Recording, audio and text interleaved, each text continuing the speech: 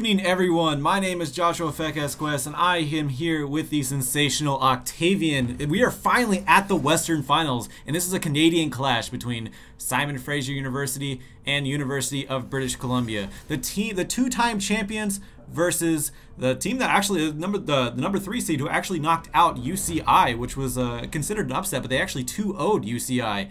And uh, that's Simon Fraser, and here we are. Uh, Octavian, how's it going, man? I'm excited. Are you excited? I am incredibly excited. I want to. There's a part of me, the part of me that always roots for the underdog, that wants to see Simon Fraser advance here as we are advancing through the picks and bans with limited surprises. Um, Camille Rengar Kha'Zix all very T1 bans from UBC. Lulu and Malzahar support focused actually, and I like that. 734 is a really strong member of UBC's roster. Fo- trying to focus him out a bit is a great idea, and Lulu is just super, super strong at the moment.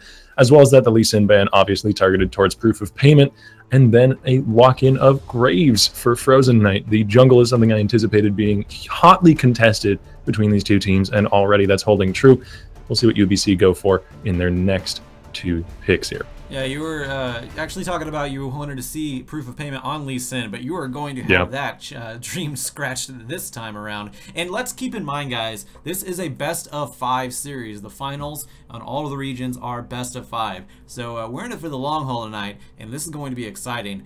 I I'm I wouldn't be surprised to see it go to a game number five. It's the number one seed versus the number three seed. Uh, we're gonna see how that one goes. Again, U University of British Columbia, they're the former two-time champions. Uh, they have been here before. Proof of payment. He's not uh he's not a stranger to this sort of situation. He's been there uh, plenty of times. He knows exactly how to handle this sort of pressure, and. Um, I, I, expect UBC to be in a comfort zone right now. Now, with that being said, they are a slightly different team than what they have been in the past as far as those uh, two-time championship placements have been. So we're going to see how they react to that as they come up. But on the other side, we do have Simon Fraser University, uh, again, who knocked out uh, University of uh, California Irvine and uh, we're going to see what they bring to the table this time around. See if they can take a win, uh, uh, uh, uh give UBC uh, one of their first losses in quite a while. Both teams have 2-0'd their series in the playoffs.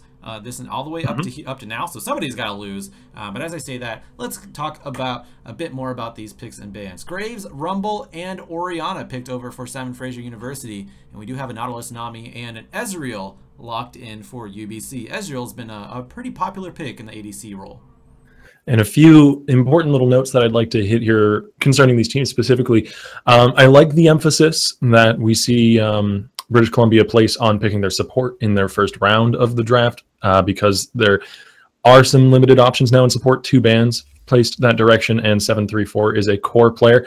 Caitlyn Karma automatically locked in. That they must have been thinking about that one for a little while because they are instant on that lock in on the side of SFU. And uh, we will see what the jung no, not the jungle, the mid laner is here. Didn't notice that at least for a second.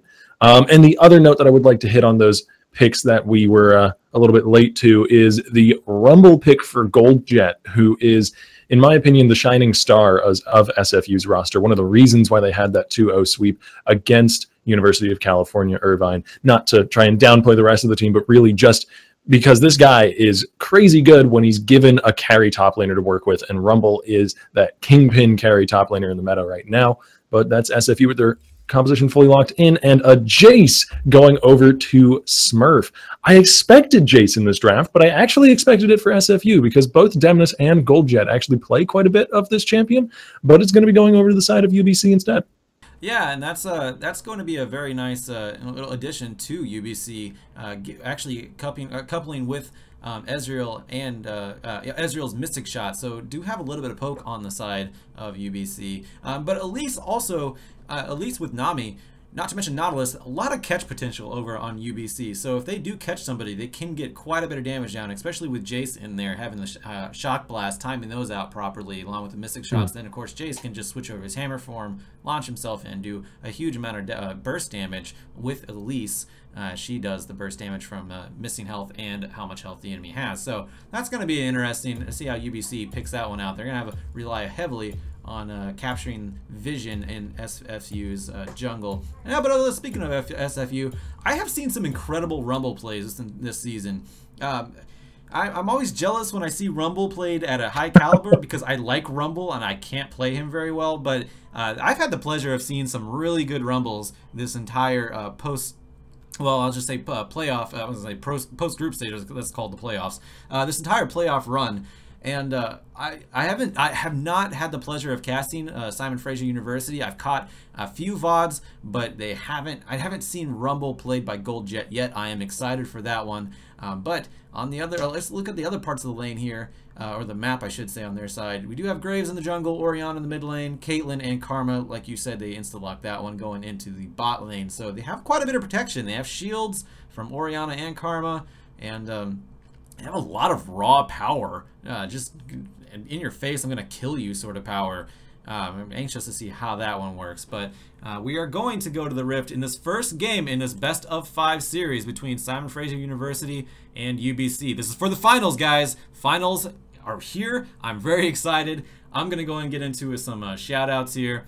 Um, going with our sponsors first. Band Gaming is a social app for the CSL, uh, the, the, primary social app for the CSL, and we hope it's a primary social app for you. You can join us at band.us slash at C Star League and uh, take advantage of the board's calendar functions, polls, chats, and uh, call functionality. It's a great social app, and we hope you guys give it a try. And of course, Twitch, have nothing but gratitude for them. They've been with us uh, for the entire time of the Collegiate Series, and they're going to continue to bolster the Collegiate scene in League of Legends, and I'm really happy and excited for that one. Go check them out, twitter.com slash Twitch, and of course, facebook.com slash Twitch, slash Twitch. And of course, last but not least, Asus, want to welcome them back to the CSL family for the 2016 and 2017 season providers of monitors, laptops, routers, graphics cards, motherboards, yeah, pretty much everything you can really imagine. They make some high quality equipment. Don't play League of Legends or anything really without it.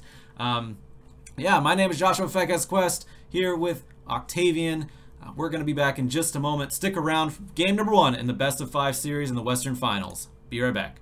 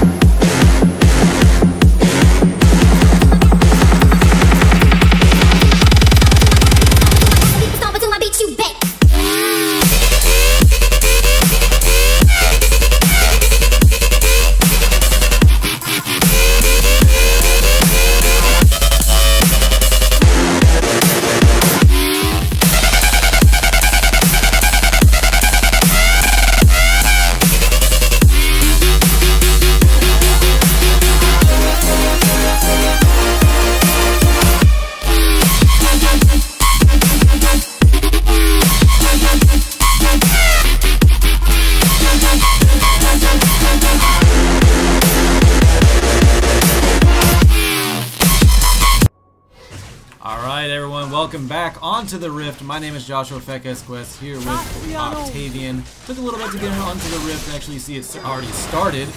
Uh, as a fun thing about spectator client, sometimes it just does that. But here we are, uh -huh. and uh, Octavian, take it away. I'm going to adjust some things here. All right. While you're adjusting, I'll go over a few more points that we have about these drafts because the draft was very, very quick. But one thing that I would like to hit, as you're already seeing taking place here, is that in two out of their three lanes, SFU had the good fortune of drafting very, very powerful matchups for themselves. Caitlyn into Ezreal is one that favors the Caitlyn pretty much every single time, almost even regardless of the support pick. And Karma's a great support alongside her. And uh, then Gold Jet's Rumble is going to dominate into a tank lane, really. No question about that. Even mid lane, the one lane where they didn't pick a hugely favorable matchup that is incredibly swingy one way or the other, isn't really incredibly swingy one way or another. They certainly didn't grab a losing matchup there with Orianna into Jace. So I like SFU's draft quite a bit. It, it holds true what Feke said in the draft earlier that UBC have great catch potential later on, but they're going to have to survive the laning phase. Yeah, and that's always the, you know, one of the things about these catch, uh, these sort of catch um, teams is, uh, yeah, you really rely on just sort of ambushing the enemy. Can't really do that in the laning phase. Unless, of course, you get the jungler involved, but right now, none of that is happening. Though we may see it from Frozen Knight, but yeah, probably not, because he does have uh, CJ shoved all the way up to his turret. But let's give him the opportunity to possibly go take out these Krugs in the top side of uh, the payments Krugs on the top side here. Looks like he is going to be starting those and looking away a little bit of that jungle. Counter jungling is always an advantage for any sort of jungle. Something I've never learned, but you know, that's why I'm not playing pro Legion, yeah, high caliber Legion games here. But, uh, Ooh. Yeah. I like that aggressive shift forward from Osna after landing on the trap. He actually gets some good trades there, but we've got to fight. Oh, yes, we do. Flash being out of JL. Is it going to be enough? The exhaust goes out on free payment, but a flash from Ozna does get him first blood. Going over to UBC in the bot line. Bot lane. And that is going to be really good for their bottom line, which I'm sure is where you were going with that. Um, they're going to get a good amount of gold on that Ezreal, and all those talking points I mentioned earlier about winning lanes, well, they can be thrown potentially out the window if Osna starts to scale up earlier than anticipated, because Pneumatic is going to be going into that classic mid-game power trough of a Caitlyn, and if Ezreal can just get a mid-game spike as Caitlyn is starting to fall off, that could be really good for UBC.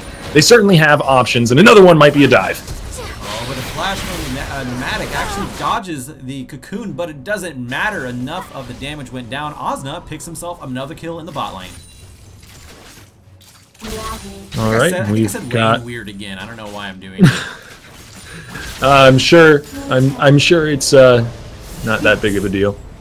They they understand what you yeah. mean. Down in the bottom side of the map, that's where the bottom lane is. One way or another, though, uh, already really aggressive play from Proof of Payment, which I suppose is what we were expecting going into this game. Even if he's denied as Lee Sin, even if the Graves is taken away as a first pick, this guy just is almost a force of nature. He, he is very, very good at living in the enemy jungle. You can see him possibly crossing the river once again right now, and uh, even going for these early dives on Elise, who is such a powerhouse in that regard. So keep a close eye on that guy moving forwards, and the map has, to some degree, reset, but these early, early aggressive plays from UBC, particularly from Proof of Payment, might be enough to offset the uh, losses that they suffered in draft. And, you know, it's so far, it's hard, yeah, like, yeah, obviously Osna's done a great role here, and he has a two assists per, uh, on uh, both proof payments and 734. So yeah, it's it, it's right now it's hard to say they lost draft only because yeah they're doing so well. But you know theoretically, uh, once it gets to team fights, it's really gonna turn around. They uh, UBC, they really need to keep themselves going in this pace, in this direction.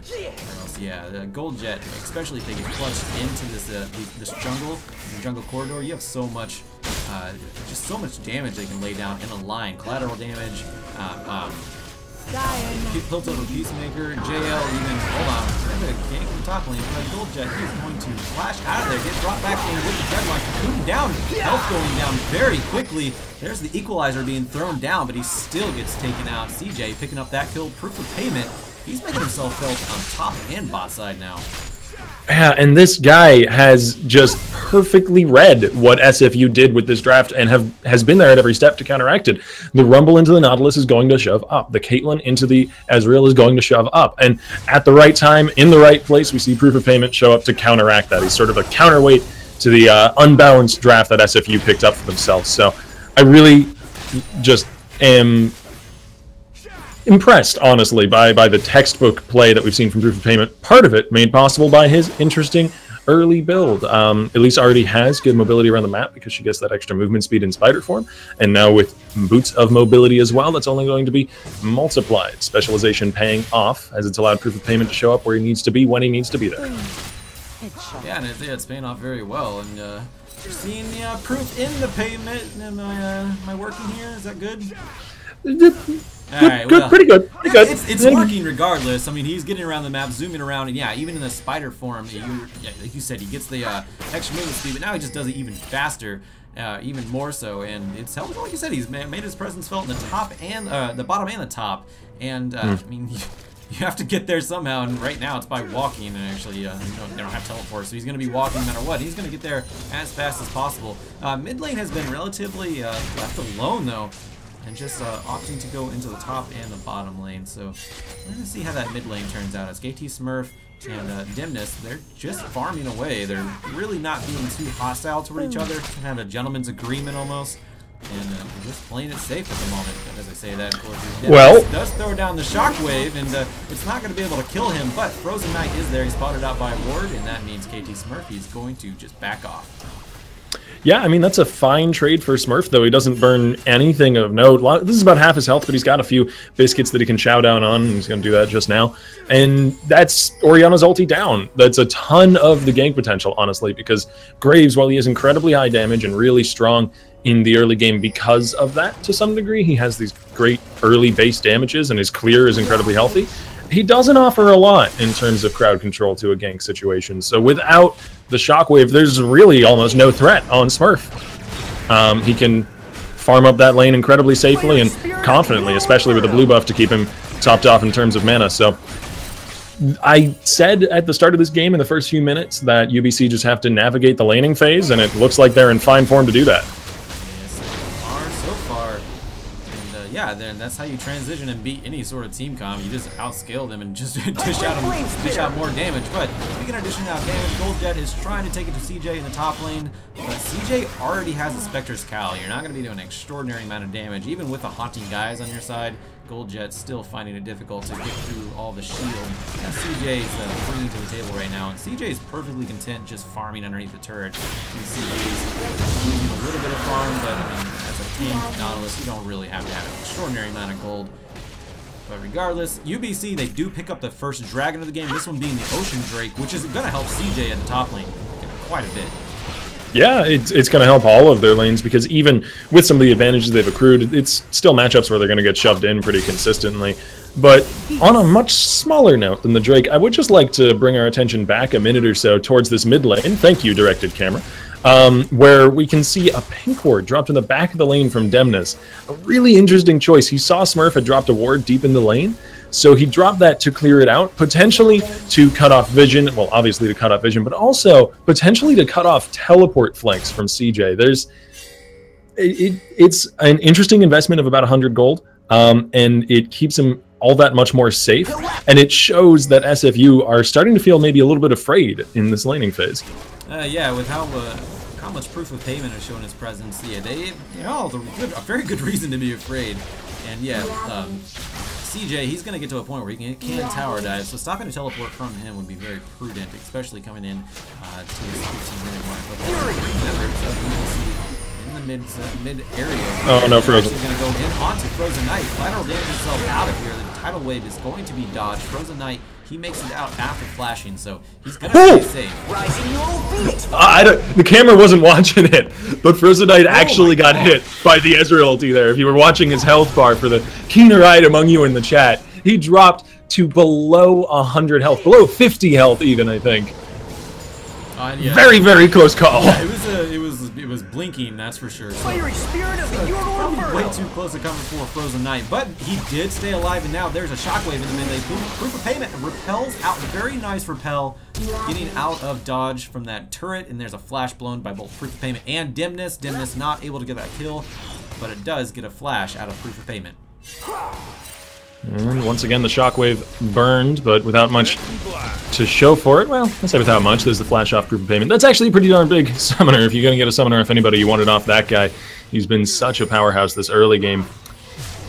And the one thing, checking back in now at 12 minutes, that I would like to sort of make note of is the discrepancy between these two junglers. Not just that Proof of Payment has had such an impact already, and has even gone for tower dives in the first few minutes, but that Frozen Knight hasn't been able to find any opportunities in contrast, which has been really, really rough for him, and partially a byproduct of the fact that in the first few minutes, all of the lanes were shoved up, and he's a Graves. It's a very, very strange complaint to have, but too many of his lanes were winning in the first three or four minutes for him to make any moves, and now too many of them are losing for him to really get any good opportunities. Yeah, and of course, all that, that gave of Payment a great opportunity to get his ganks in. And not to mention, he can gank early. We saw that early power dive in the bot lane because he does have that repel. We saw that in the mid lane as well. And that's just one of the bigger, bigger advantages of playing in Elise in this laning phase, which you, you tower dive is so crucial sometimes. Uh, especially coming into this bot lane where you have an extra source of damage coming in from uh, not only, of course, the bot lane ADC, but the uh, ever so slight damage from a Nami, which actually does add up quite a bit with her ebb and flow and of course her empowered shots that she puts on anybody. So this is working out well, very uh, very well for proof of payment, having the lane shoved up. Looks like maybe going to the top side here, get some vision scouted out anything to take away some jungle. And yeah, Frozen Knight, you know, despite Frozen Knight actually not being able to get a gank off, he is quite up in farm right now, and it's actually putting him ahead Super in Galaxy comeback breaker as well. But Golden Jet, he, uh, or Gold Jet, I should say, using that equalizer defensively in that top lane just to clear the wave, I believe safe here. But now KT Smurf is going to go in onto Dimness and use the Shockwave to try to bring him back, but it is a flash field being blown by Dimness as well. Teleport coming in. It's actually from CJ, and there is Frozen Knight to try to get the redemption, but he's not going to work. Collateral damage is not going to get a kill. KT Smurf did take him out Dimness before he was able to uh, pick up, or before he was able to. He's he's basing. He's oh, he's basing. Yeah, yeah, yeah. Okay. He was basing in the enemy no. territory and he got out. So very nice play by UBC all, all around the Scryer's Bloom must not have spotted him, because JL actually did pop that Scryer's Bloom in that direction, trying to find where Smurf was basing, but I guess the cone just barely missed that bush. That is so very unfortunate. It was a very, very free and easy kill if they had just known he was there. And uh, still, we, we don't have any kills on the board yet for SFU, which coming out of the draft that they had is a little bit rough. Gold Jet and Frozen Knight being chased away from the jungle, though. Yeah, and there are no ultimates up from either Gold Jet or Frozen Knight. KT Smurf is there. So much damage from that shock blast. KT Smurf launches himself, takes out Frozen Knight. And good night, Frozen Knight. That is a great, huge amount of damage coming out from KT Smurf. He already has the Youmuu's, and he had a serrated Dirk added behind that. So much damage, and he took advantage of that one. That might be the first tower of the game going over to UBC in the mid lane. And it's it's also that that huge damage burst you just saw from Smurf, as well as um, Osna now scaling into some items, is a mark of the composition that we're seeing from UBC and their ability to scale into the mid game and hit these power spikes as well. So now that they have survived this early laning phase, the first 10, 15 minutes of the game, and honestly more than survived, thrived, they are in quite a powerful position to move forward. Both Jace and Ezreal do amazingly well once they get their first item to item and a half, and uh, we're just hitting those marks now. Smurf has the Youmuu's, and Osna is just about, has actually just finished off his Manamune.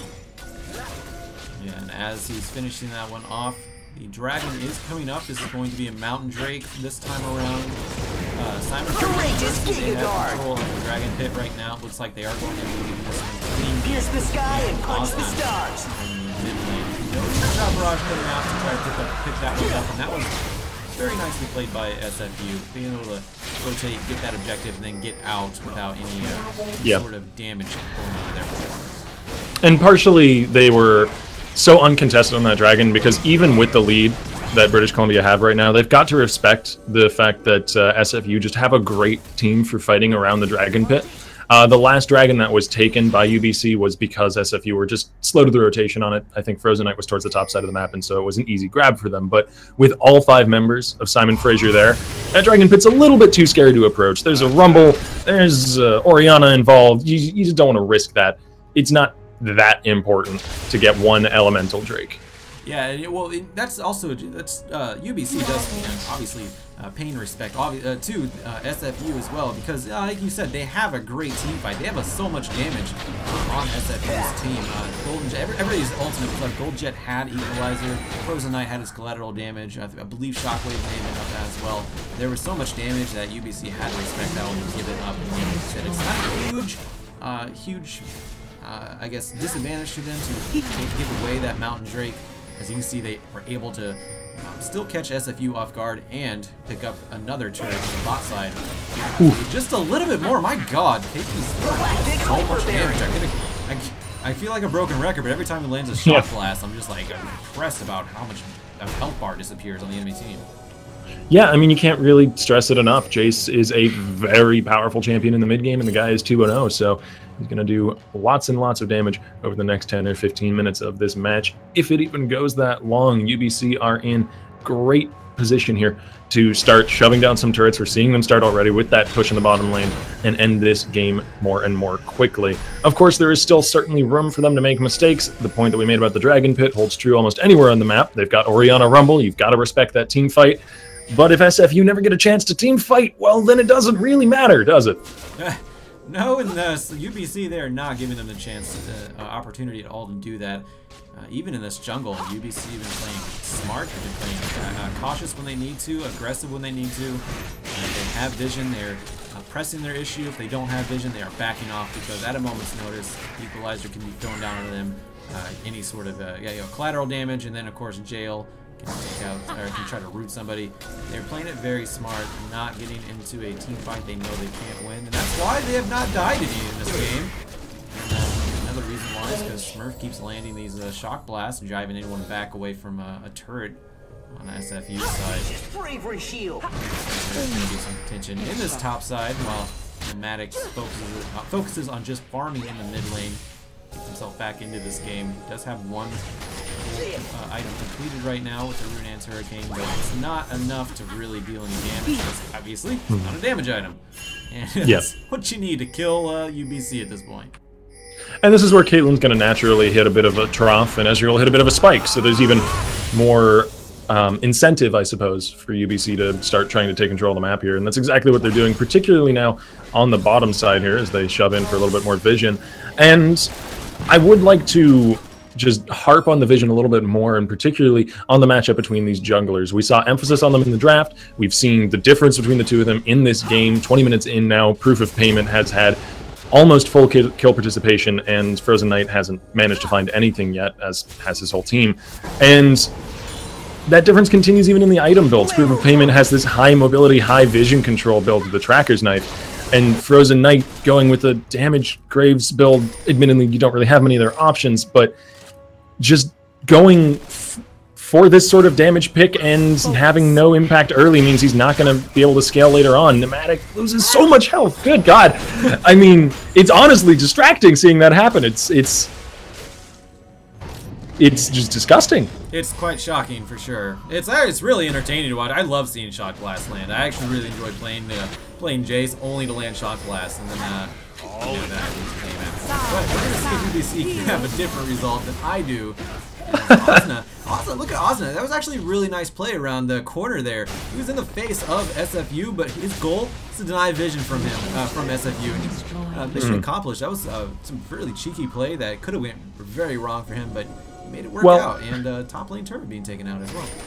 Well, it, it looked like it could have gone wrong, but honestly, it really couldn't at that point because so much had already been invested into proof of payment, and the members of SFU that were there didn't have any real hard CC, nothing that could lock an Ezreal down by any means.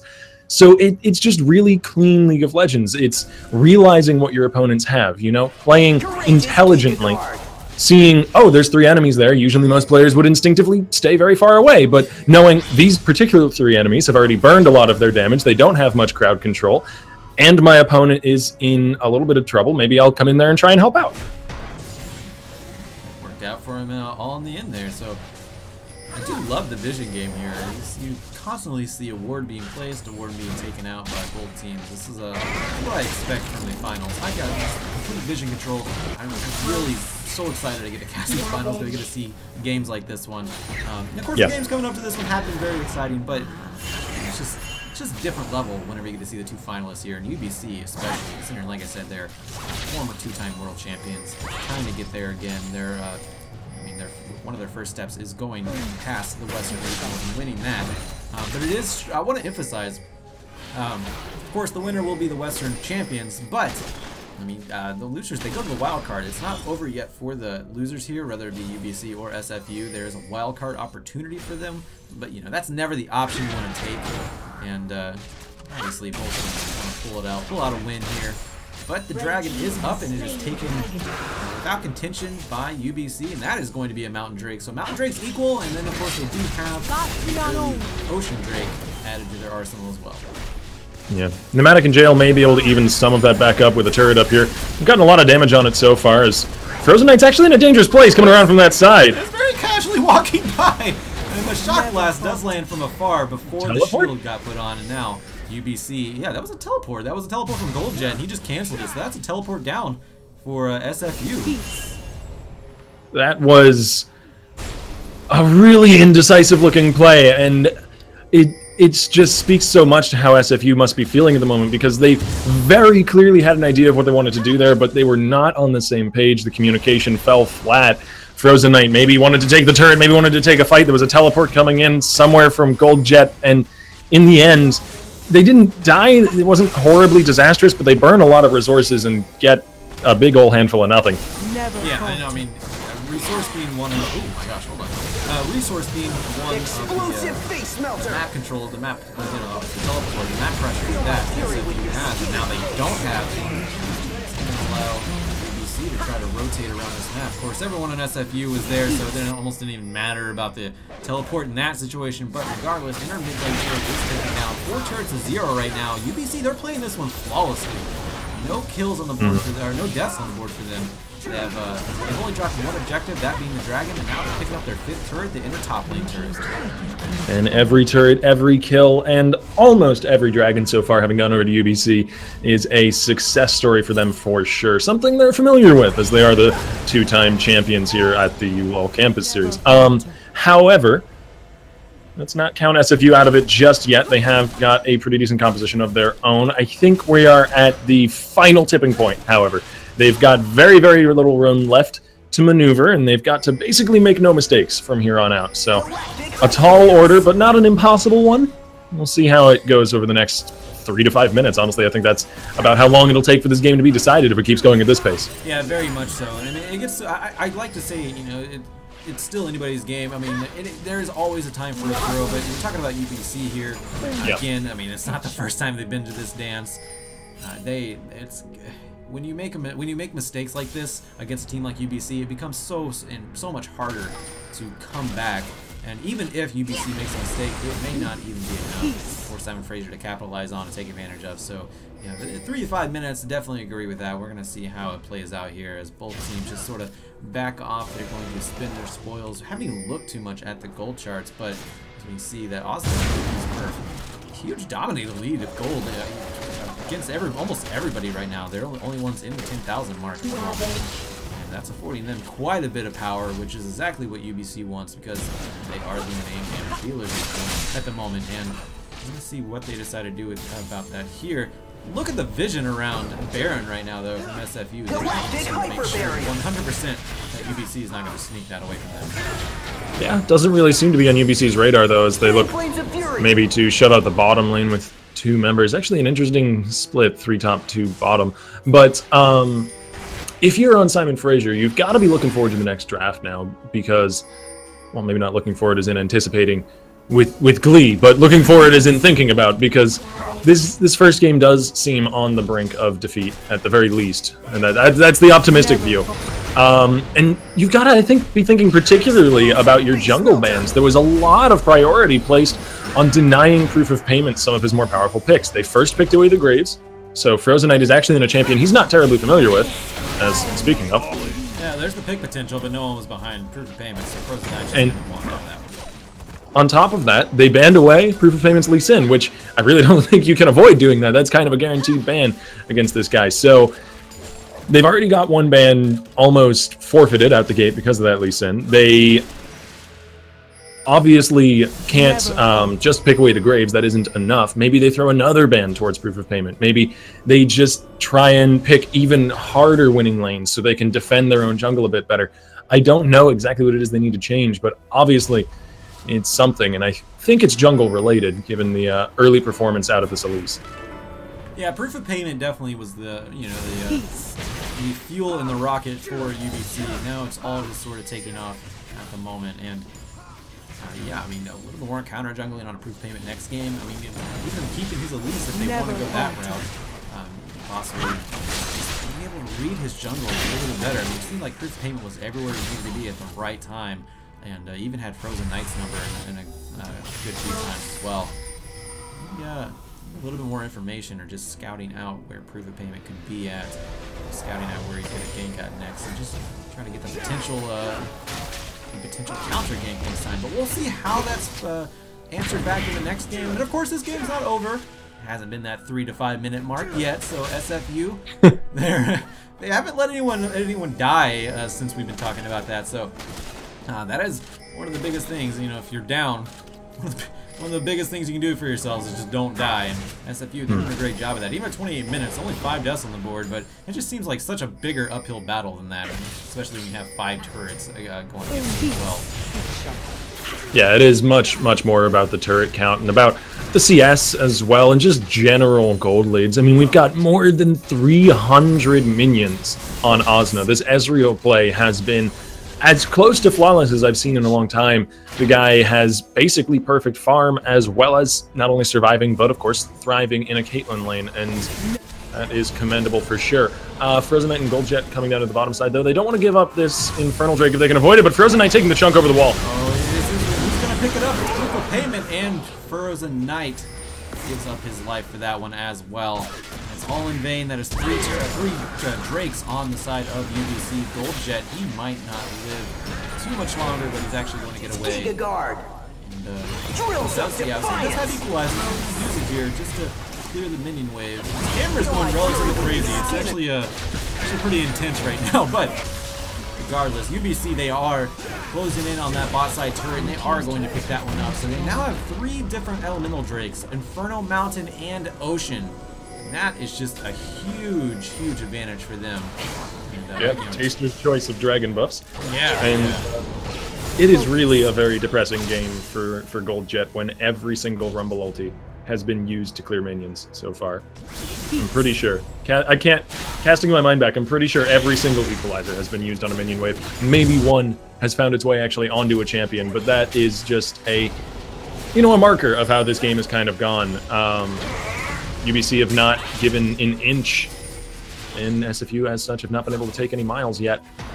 Still technically in the match, but that is a dangerous corner for Pneumatic to turn. Oh, not, not a kill Burnett's right out, so that's one thing. There was no bubble being thrown out there. Yeah, you can. I do like how you can tell the pace of a game based on how someone used their ultimate. It's like seeing an Ahri use the the Bravery shield. Spirit Rush just to escape every time. It's almost the exact same we're seeing for Gold Jet right now with the equalizers and.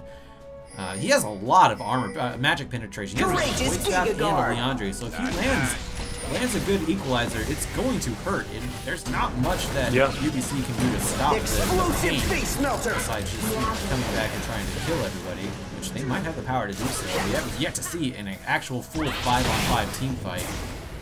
But uh, Well- be- yeah, and UBC's doing a great job avoiding it. There's actually, um, and and UBC's gonna done a great job of itemizing there as well. It's, it's it's good you bring that up because the two core team fight ultis are both magic damage: Orianna, Shockwave, and of course the Equalizer from Rumble. And so we see an early Hex Drinker, well, relatively early. It was built a little while ago from Osna, and Magic Resist prioritized on both CJ and Proof of Payment, the, the tank and semi-tank. So they're even building to prevent the very small windows of opportunity, the very small outs that SFU have. They're covering pretty much all their bases here, and they're going to be starting off a Baron. It's going down so quick right now. But like, it doesn't look like SFU test that one. They actually do not.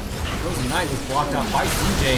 Now, the very nice ar arcane shift by Osmond avoids the uh, ultimate from Dimness. And UBC are just running all over SFU. Everything was used. That was SFU's opportunity, but they let them get the Baron, and that opportunity was Never almost nil at that point. They're going to try to get the kill, but it's not going to happen. Repel going to save Proof of Payment. This might be an ace coming up. Double kill for Osmond. 4-0-3 right now. Shock Blast is not going to find the mark on Pneumatic. He's the only one left alive. 90 ace from UBC, but cannot stop the Hydra from being taken down. And actually, this may be the Nexus turrets going down as well if they can do this fast which they are. And still not a single strike back for the side of Simon Fraser. UBC could not have come into this best of five more more willing and ready to fight, it seems. These guys play a perfect game one. I unless you're counting dragons, I suppose they gave up one mountain dragon. But that is a great way to start off a series for sure. Yeah, very nearly flawless on that uh, on that exchange. So we're gonna see if they can bring that back into game number two and uh, maybe even bring it to a game number three. Remember, this is a best of five, so SFU they have a few opportunities to uh, come back and you know, think about the missteps and try to topple UBC. Who, by the way, I want to emphasize once again, former two-time champions SFU. They have a tall order uh, right in front of them and they know it. They're not going to be shaken too much here. They are going to recuperate and come back, and we'll see how they retaliate. My name is Joshua Pheqes Quest. I am here with Octavian. Stick around. We're going to get into Champion Select for game number two in just a moment.